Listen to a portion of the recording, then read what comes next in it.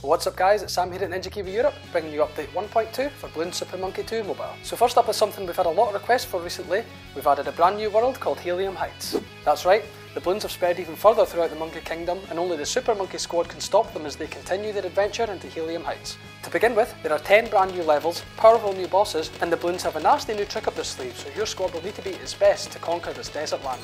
On top of all that, we've added two new power-ups exclusive to the Endless Mine. First up is Invincibility, which will prevent you from losing lives whenever the power is active.